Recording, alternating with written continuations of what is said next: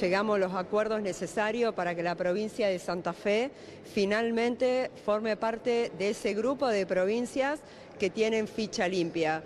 Básicamente lo que queremos es que nuestra legislatura, las legislaturas provinciales, no sean un antro en donde los corruptos vengan a buscar protección. ¿Qué concretamente, qué característica concreta tiene este proyecto?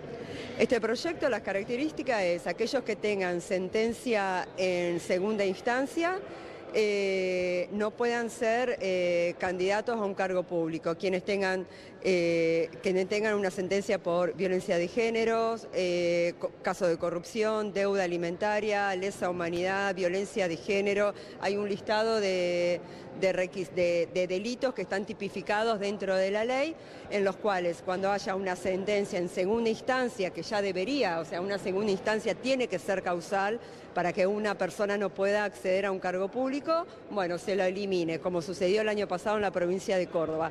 12 personas fueron sacadas de listas de cargos provinciales por la ficha limpia. ¿Esto va a ocurrir en todo tipo de cargos o solamente aquí en el, en el legislativos? La, la, ley ficha limpia, lo que, lo que nosotros estamos aprobando es, la, eh, se incorporan dos artículos para modificar el, la ley de partidos políticos y la ley electoral. Es para los cargos públicos provinciales y también para los partidos políticos, por supuesto. Una diputada que pedía que fuera con sentencia firme, ¿por qué se decidió por la segunda instancia?